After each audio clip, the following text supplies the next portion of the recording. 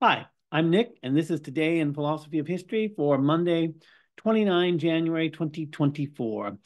This episode is not a celebration of a of the birthday of a philosopher of history, but rather it is an addendum on my addendum to my episode about Eric Voegelin. Before I get into that,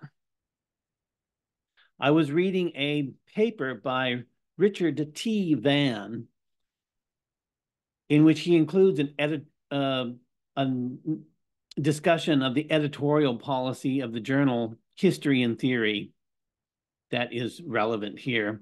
Quote, the great speculators, Vico and Hegel and later Marx, were, if treated critic analytically, in.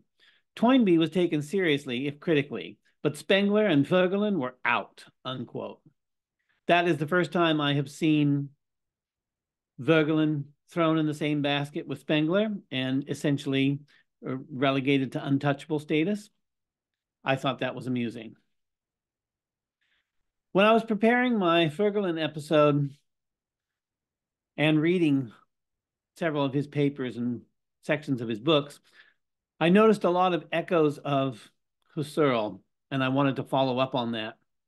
As it turns out, Husserl was a significant influence on Voegelin. So I got Eugene Webb's book, Eric Voegelin, Philosophy of History, which was reasonably priced. I could get my own copy. But the, the books of the volumes of the collected works of Voegelin are rather expensive. So number 29 that has his selected correspondence from 1924 to 1949 that I got by interlibrary loan. And it has a, an interesting letter in it that I will discuss. Voegelin liked to trash talk other philosophers. He called Hegel a sorcerer. He called Marx a swindler. So we shouldn't be surprised that he would say similar things about Husserl, and he did. So here is from his uh, autobiographical Reflections, which is a surprisingly philosophically dense work. It's not just a um, an account of his life, but very much an account of his thought. Quote, I still remember the shock when I read this philosophy of history. I was horrified because I could not help recognizing the all too familiar type of phrase constructions in which had indulged the Enlightenment philosophes and after them Comte, Hegel, and Marx. It was one of the it was one more of the symbolisms created by apocalyptic Gnostic thinkers with the purpose of abolishing a past history of mankind and letting its true history begin with the res respective author's own work. I had to recognize it as one of the violently restrictive visions of existence that, on the level of pragmatic action, surrounded me from all sides with its tale told by an idiot in the form of communism, National Socialism, fascism, and the Second World War, unquote. So he's putting Husserl there in some pretty unflattering uh, company. Um, and that's not the first time that's been done. Uh, but anybody who maintains anything is going to get that treatment sooner or later. But the trash talk is significant. It tells us that Voegelin did not read other philosophers sympathetically. He reacted against what they wrote. And he did this with Husserl too. Part of Voegelin's motivation for the theory of consciousness that he developed was that he had encountered you know, Husserl's theories of consciousness, which is pretty elaborate and stretches across most of his works. And he perceived the inadequacy of that theory of consciousness from from his point of view. So he realized he had to come up with his own theory of consciousness because he was confronted by this, this other example that needed to be countered as he saw it. Because of Voegelin's trash talking of others, his close readings of other philosophers can be like a hallucinatory experience where Voegelin's channeling some other thinker, but it's always his voice and his terminology. So it, it's a strange experience from my perspective. I mentioned in my Voegelin episode that he's difficult to read. And part of this is because he uses a lot of Greek and Latin terms in his own terminology. Uh, by the way, the, the Eugene Webb book includes a glossary that's very helpful because of all the foreign phrases and the, own, the, the, the peculiar meanings he gives to his own terms. So it's very helpful to have that glossary, and the book is, is helpful in that respect. But I'm not the only one who's noticed uh, his his uh, odd use of terminology. So I've in the in one of the appendices to the uh, collected work, volume 29, Voegelin has sent his manuscript for the history of political ideas to Macmillan, and they responded with a cordial letter, but they concluded a several page review from an unnamed reviewer, relatively thorough, and it includes, it starts off with a, an amusing passage here. Quote, the book is not badly or unclearly written, but there are many evidences of, of the fact that English is not the author's native language. There are, there are, these are mostly cases of non-idiomatic sentence structure and the use of words in unfamiliar senses. Many of these could be corrected by a competent editor. In some cases, however, correction would be more difficult and require of the editor a service more like that of, a service more like that of a translator, since the problem would be to understand the author's use of words and to find more idiomatic rendering. Such revision would be difficult and possibly the author would not welcome it, unquote. I've certainly found that to be true in reading Voegelin. And as I mentioned, the glossary in Eugene Webb's book is, is very helpful in this respect. So one of these hallucinatory Voegelin rants is relevant particularly to the philosophy of history. And it's about it's a long letter that Voegelin wrote to Alfred Schutz uh, about Husserl's philosophy of history. Schutz himself knew Husserl quite well, had met him on many occasions. I don't know if he directly studied under Husserl, but certainly he was in Husserl's close in circle. And Schutz uh, had taken as his mission, as it were, to apply Husserl's phenomenological method to sociology. Schutz also corresponded with the well-known uh, sociologist Talcott Parsons, and this correspondence has been made available um, in a book called The Theory of Social Action, the correspondence of Alfred Schutz and Talcott Parsons, edited by Richard Grathoff. It's a fascinating read. Uh, it's one of those rare instances of correspondence that's been published in which there's a complete lack of meeting of the minds, but Parsons even mentions that they, they can't seem to have a meeting of the minds. Partly this is because Schutz very much insists on a phenomenological foundation for sociological concepts. And Parsons doesn't want any part of it, basically. Uh, he's almost dismissive of, of Schutz's point of view. And it was interesting for me to find out that Voegelin also corresponded with uh, Parsons, as there are several um, letters to Parsons in this volume of, of correspondence. I didn't know that there was that level of interchange between uh, well-known sociologists and well-known phenomenologists of the first half of the 20th century, but apparently there was. Voegelin's correspondence with Schutz went on for many, many years. And in fact, it's all been published in its own volume. A friendship that lasted a lifetime, the correspondence between Alfred Schutz and Eric Voegelin. So all this is, is available if a person wants to get into it. But I'm going to focus on the 16 page later letter that Schutz wrote to, uh, excuse me, letter to Schutz by Voegelin uh, started on the 17th of September, finished on the 6th, 20th September, September. So he spent three or four days writing this detailed critique of Husserl's philosophy of history. Before I start getting into that, I want to mention something about Husserl himself, if you're unfamiliar with that. Husserl, Schutz, and Voegelin all came from a Germanophone philosophical milieu. Husserl, who I might mention was a contemporary of Spengler, who was born after Husserl and died before him. So they were alive at the same time, but Spengler for a significantly shorter period of time. Husserl started in mathematics and later branched out into philosophy.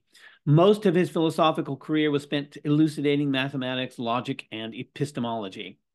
Now, that way of phrasing it is a normie take on Husserl's contribution.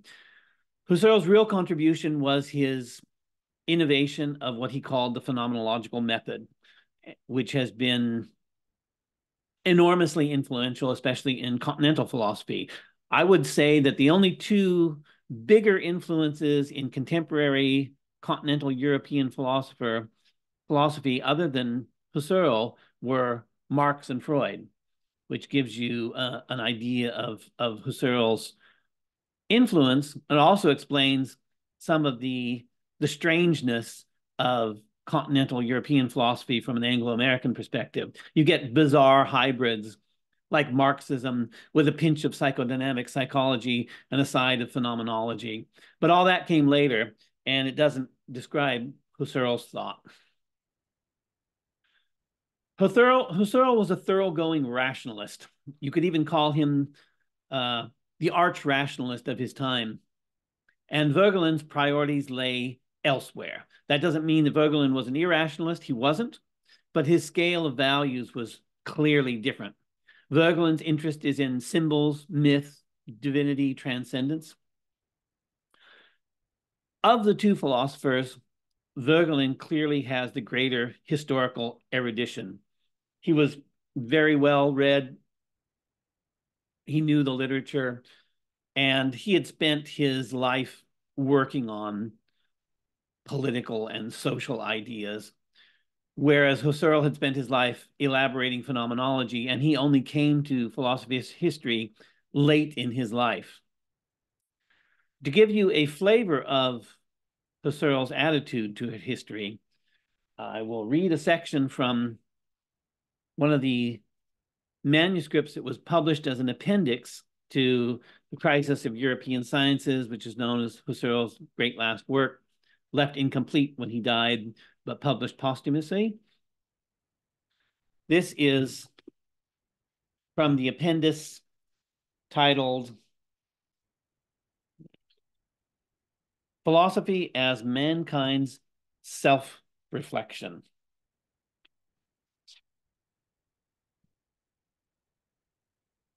A new quote, a new meaning is also given to human existence. Man's existence in the spatio spatio-temporally given pre-given world as a self-objectification of transcendental subjectivity in his being, its constituting life, what follows is the ultimate self understanding of man as being responsible for his own human being, his self understanding as being in being called to a life of apodicticity, not only in abstractly practicing apodictic science in the usual sense, but as being mankind which realizes its whole concrete being in apodictic freedom by becoming apodictic mankind in the active life of its reason, through which it is human as I said, mankind understanding itself as rational, understanding that it is rational in seeking to be rational, that this signifies an infinity of living and striving toward reason. That reason is precisely that which man, as man, in his innermost being is aiming for,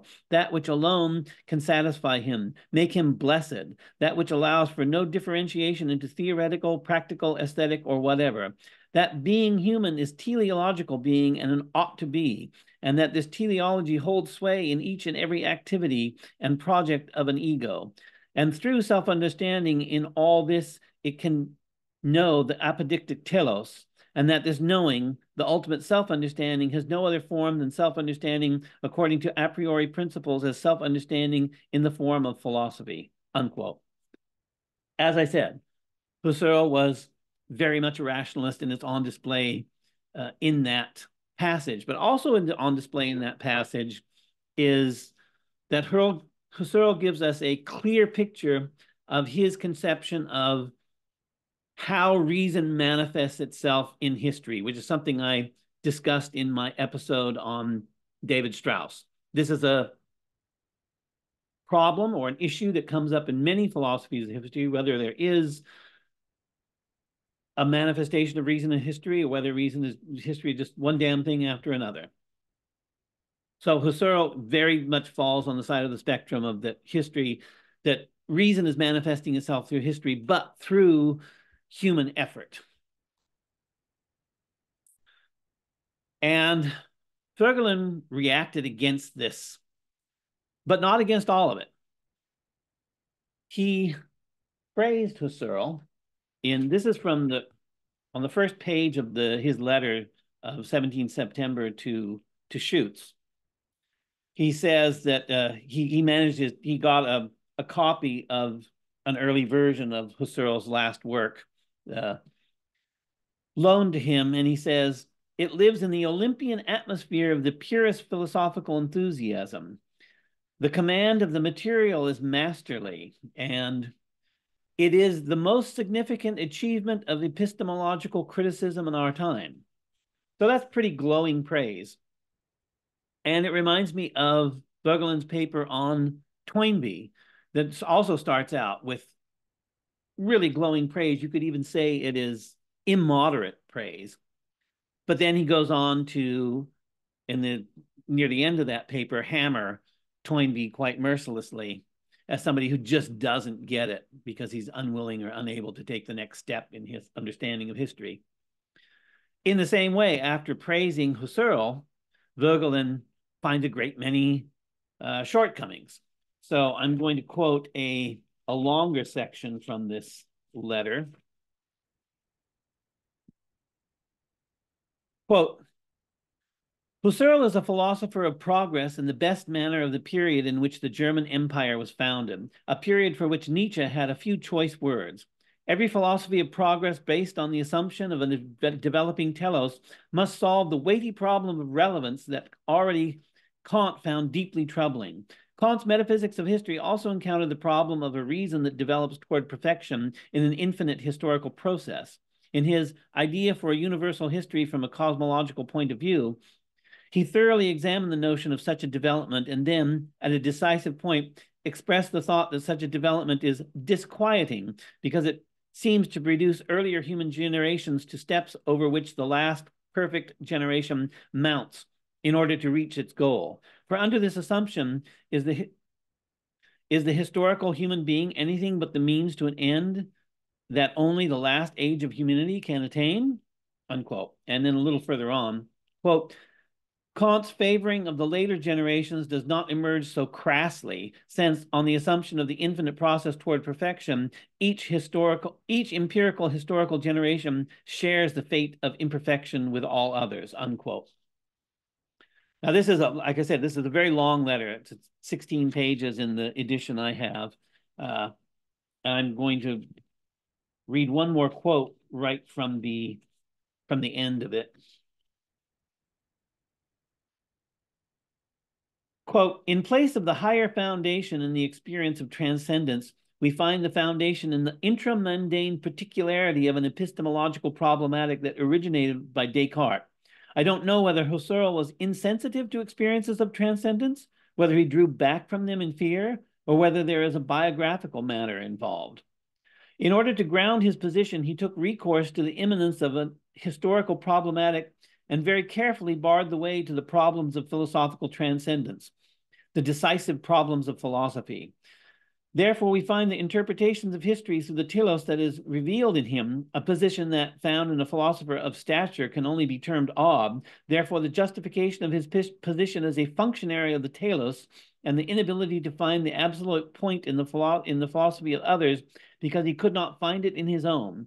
Therefore, the apparent inhumanity in the degradation of his predecessors, and therefore, I would venture to say, the character of his works as a continuing prolegomena, unquote.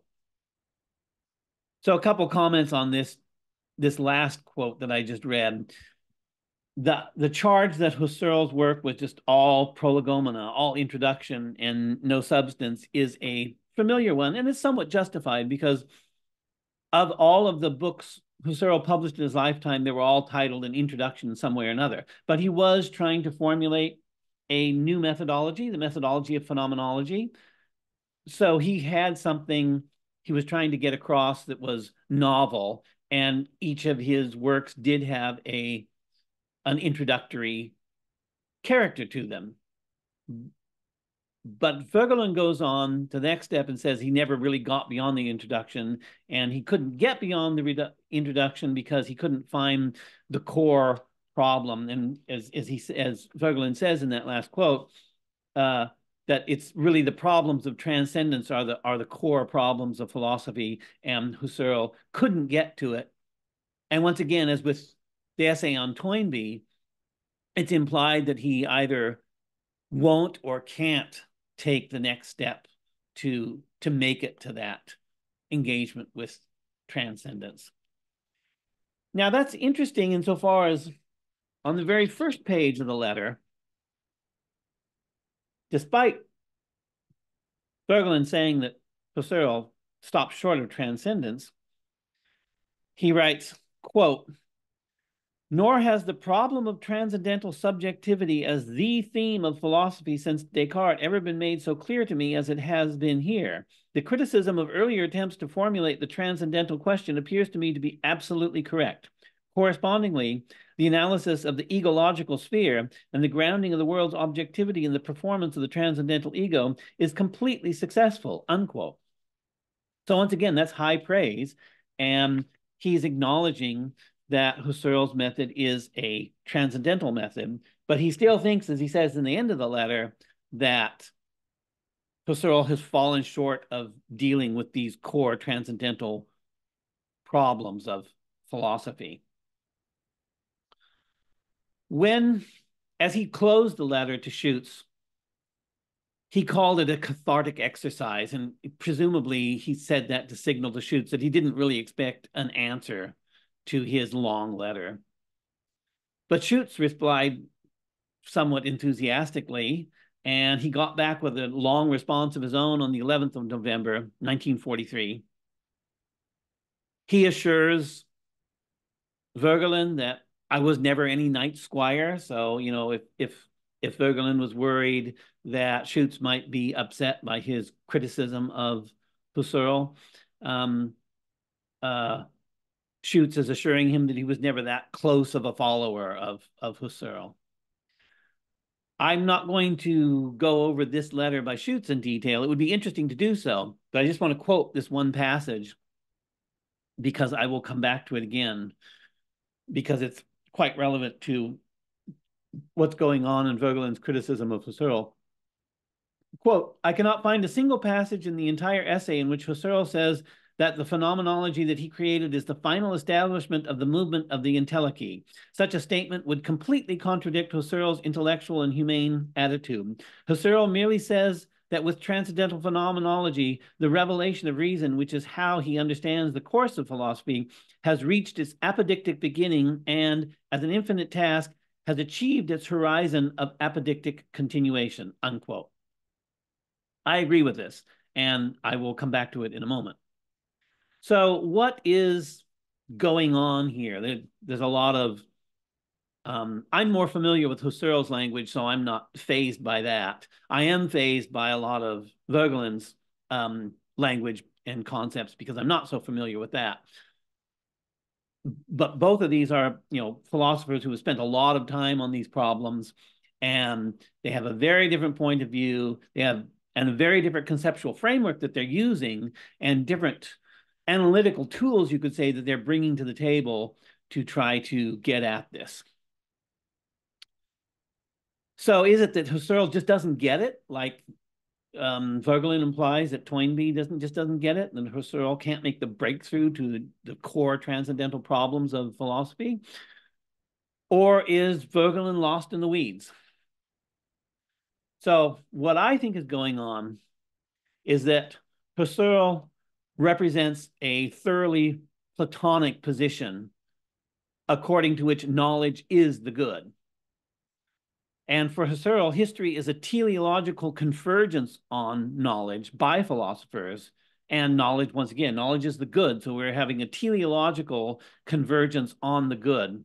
And that is what is animating the historical process. And Husserl also insists that this is an infinitistic historical process. In many, many of Husserl's works, he, he places a great emphasis on that. So Voegelin design, denies that it's, that it's an infinitistic process. And he says that Husserl is just a classic three-stage philosopher of history where there's one stage from from earliest prehistory up to the Greeks, and then there's this blossoming of Greek rationality. Then there's a period from the Greeks up into Husserl himself, and then Husserl, Husserl's establishment of phenomenology as an apodictic science of consciousness. That is the final establishment, which Voegelin called it several times. And Schutz replied, but no, it's not really a final establishment.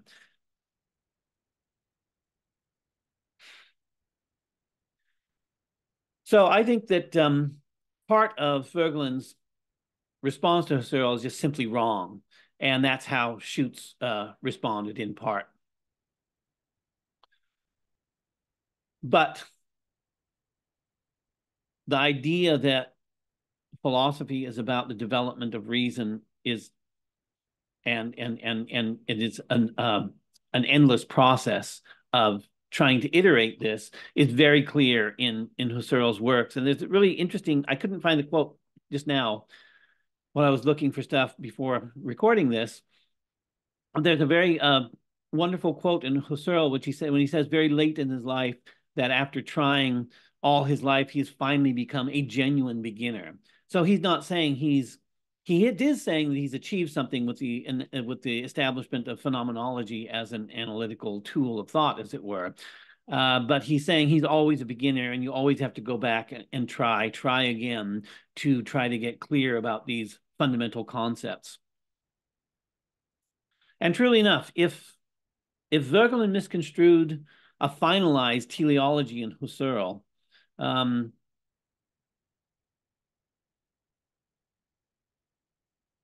Husserl's extreme rationalism and history interpreted according to this rationalism gives us a little insight into how Voegelin was reading Husserl's philosophy of history.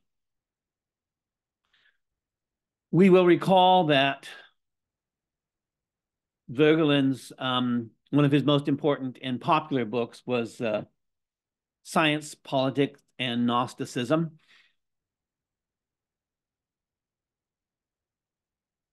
And he analyzed in that what he identifies as a modern form of Gnosticism lurking behind the catastrophic political developments of the 20th century.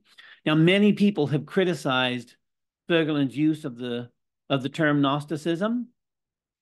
And of course, Voegelin was aware of these criticisms and he pushed back on them. There's some interesting sections in his autobiographical reflections in which he explicitly mentioned criticism of his use of Gnosticism. And he says that that this wider use that he uses is, is quite is is more common than people realize. I recently learned that this uh, term has also made an appearance in the culture wars. James Lindsay has picked up on Voegelin's uses of Gnosticism and is using it himself in, in a very similar way. When you get a term like that that's caught up in philosophical and even political controversies, obviously uh, any narrow philosophical meaning is going to go out the window. But Gnosticism, in its original usage, just meant knowledge. It's the Greek word for knowledge. Now, it came in the late antiquity, in the period of late antiquity, it came to mean you know, sometimes secret knowledge or hidden knowledge or some kind of special knowledge. When we refer to the Gnostic religions of late antiquity, they were religions with elaborate initiatory rites. And when you were initiated into the cult, then you were given the secret special knowledge that made you a full initiate of that mystery religion. But in all cases, uh, gnosis is about having some kind of knowledge. And on this knowledge, I found an interesting quote in the Eugene Webb's book,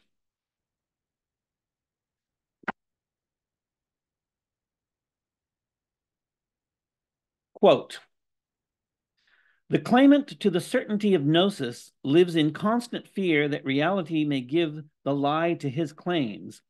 He may bury the consciousness of this fear so deeply that it virtually eclipsed for him, but there always remains a residue of anxiety that speaks to him for his, of his finitude and of the impossibility of transcending it, even if that speech falls on deaf ears and survives only in the mute forms of frustration, anger, torment, or despair, unquote. So by Eugene Webb's account, I could be considered a Gnostic. Uh, I don't suffer from torment or despair, and I'm not about to sacrifice a bull to Mithras to shore up my Gnostic credentials. Uh, maybe I should. Maybe my life would be improved if I occasionally sacrificed a bull to Mithras, and I have to admit, I have not tried it. Um, but given our modern conception of reason, which is has its ultimate origins in Plato and has been repeatedly revised, most recently and most significantly by science, we always live in fear uh, that reality will give the lie to our claims. And if, if not, then our claims are unfalsifiable. And we recall that falsifiability was Karl Popper's influential criterion of scientificity. If a proposition can be falsified, then it's scientific. If it can't be falsified, then it's non-scientific, and there's not much you can do with it maybe it's an article of faith, but it's not part of science. And implicitly, then it's not part of knowledge. Given Voegelin's extra rational scale of values, Husserl's teleological focus on rationality, almost to the exclusion of all other elements, probably seems pretty thin and threadbare. And I can easily understand why people would be attracted to Voegelin's elaborate effort to include other expressions of human activity like myth and and and transcendence, etc.